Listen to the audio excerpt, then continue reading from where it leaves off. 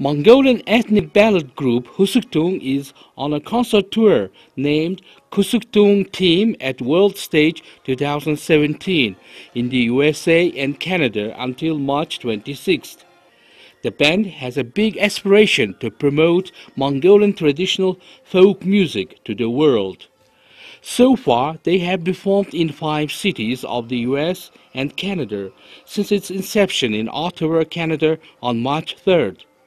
Khusugtun team has performed in Toronto, Canada between March 3rd and 8th, as well as in Rubin Museum of Art, where some unique paintings and sculptures of Buddhism, especially precious paintings of High Saint Zanabazar, are kept.